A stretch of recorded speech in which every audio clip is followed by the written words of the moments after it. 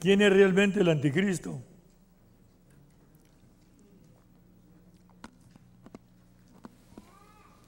Ok, antes de que nos acabe el resuello, que me ponga luz.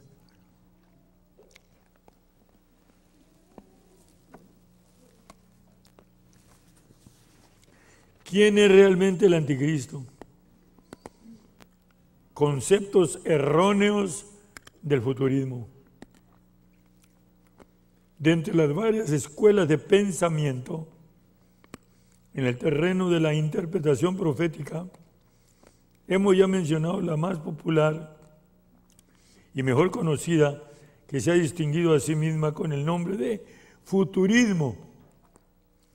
Esta forma de interpretación se singulariza un distintivo negativo muy especial. Negativo. Y este es, como su nombre lo indica, que niegue el cumplimiento de profecías bíblicas que ya se han cumplido o que se están cumpliendo hoy y en cambio enseña a sus interlocutores que éstas habrán de cumplirse aún en un futuro incierto e imaginario. Fíjense nomás. Los que son instruidos así, y son muchos, me estaba acordando del lichito. El que le dijo, ¿dónde va? Digo, pues, pues, me dijeron que la ciudad no sé dónde se adora no sé qué santo y diciendo no sé qué rezo se recibe no sé qué tanto y para allá voy. Muy buena dirección.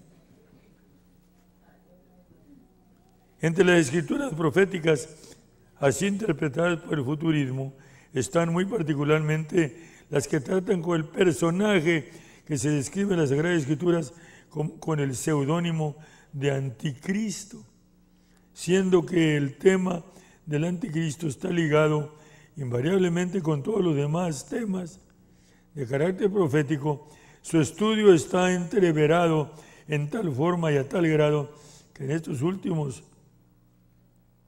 que con estos últimos, a tal grado que estos últimos que se presta fácilmente para que se saquen deducciones falsas, erróneas o imaginarias. Esto es precisamente lo que ha hecho el futurismo en estos últimos siglos, dando así de comer espiritualmente mitologías.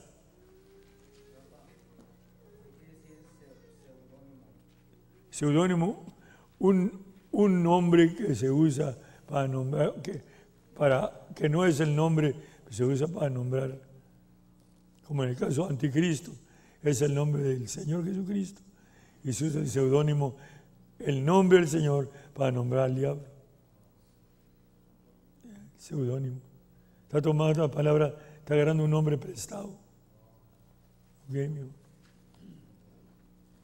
Mitologías, ya todos saben, ¿verdad?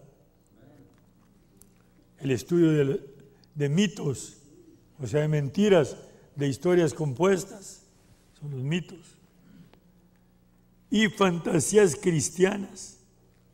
Y lo pongo con comidas, porque la realidad es que este libro no es de fantasías, es real.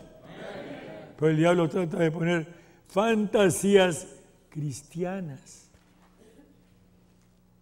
A multitud de creyentes incautos, la mayoría de estos han recibido y aceptado sin objeción las enseñanzas del futurismo sin detenerse a investigar a la luz de la palabra de Dios si tales enseñanzas son verdaderas o falsas. No dejen campo enfrente, no dejen campo enfrente, rímense así enseguida. Y, y mira, vieja, véndele el libro, véndele el libro luego, luego, para que le enseñe su cani. Ándale, hijo, y a la abuela que te vende el libro, para que lean.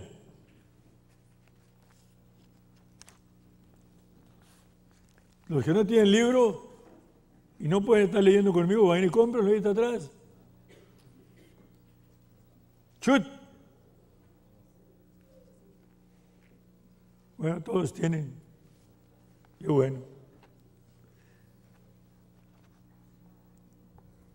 Por lo tanto, entendiendo por nuestra parte de que la mayoría de los razonamientos de esta escuela de interpretación bíblica son ilógicos, procedemos en este estudio precisamente a refutar con la misma palabra de Dios y con razonamientos lógicos e innegables la cadena de interpretaciones torcidas que el futurismo enseña, pues una grande confusión, pues, son, pues nos consta que tales enseñanzas han producido para estos tiempos una grande confusión en la mente de muchos enseñadores de la palabra de Dios y por consiguiente también en las mentes de multitudes de profesantes cristianos sinceros, ciertamente muchos de ellos, pero enseñados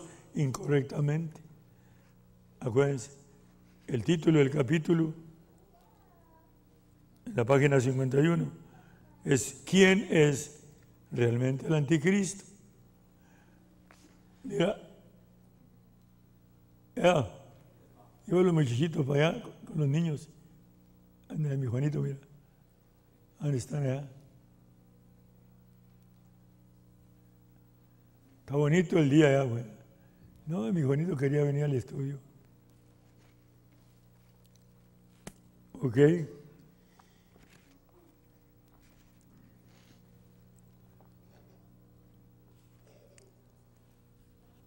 Va, se me fue la onda, ¿dónde iba?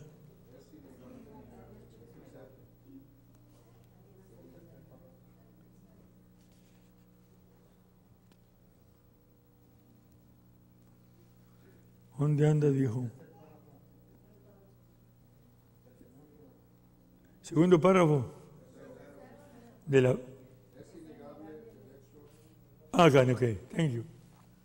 Es innegable el hecho de que es fuerte y poderosa la influencia que ejerce hoy en las mentes de un gran segmento del cristianismo la interpretación errónea que enseña que el anticristo es un personaje misterioso que aún está por venir. Esto lo enseña hoy, lo enseñan hoy distinguidos maestros, teólogos, maestros y teólogos en colegios y seminarios bíblicos de las antiguas y grandes organizaciones religiosas dentro del cristianismo protestante, pero de igual manera lo creen y lo enseñan hoy también un gran número de organizaciones y movimientos de tipo pentecostal de diferentes tamaños y tintes doctrinales. Esta mañana les dije a los varones, esta mañana les mencioné, cómo empezó el mensaje, la enseñanza del futurismo en la iglesia apostólica. En los días en que yo fui bautizado, quisieron hacer una escuela en México, los hermanos, y para preparar maestros, entonces escogieron algunos de los jóvenes en la iglesia, eso fue en 1945, 46, y los mandaron al colegio de Tulsa, Oklahoma, con los americanos, los hermanos del nombre, y los hermanos del nombre acababan de oír la enseñanza del futurismo ¿De dónde? De los hermanos trinitarios. Los hermanos del nombre americanos lo aceptaron, aceptaron la enseñanza. Y cuando los hermanos mexicanos mandaron a, los jóvenes a estudiar, pues se la comieron y regresaron a México los pusieron de maestros. Y en los días en que yo fui bautizado era una novedad tremenda el futurismo. Y yo pensaba que era revelación.